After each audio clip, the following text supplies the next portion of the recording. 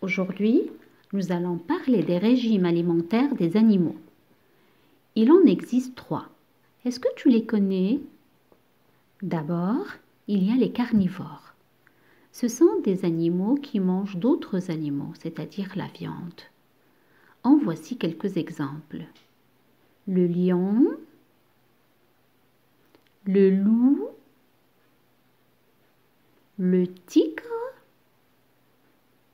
le chat, le requin et l'aigle. Ensuite, il y a les herbivores.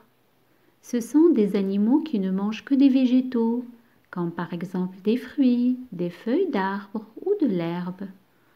En voici quelques exemples. La vache, le mouton, l'éléphant, le zèbre, la girafe. Et en dernier, il y a les omnivores. Ce sont des animaux qui mangent à la fois la viande et les végétaux. En voici quelques exemples. Le canard, le hérisson, l'ours, la poule et le renard. Te voilà maintenant un champion ou une championne des régimes alimentaires. Allez, au revoir et à la prochaine.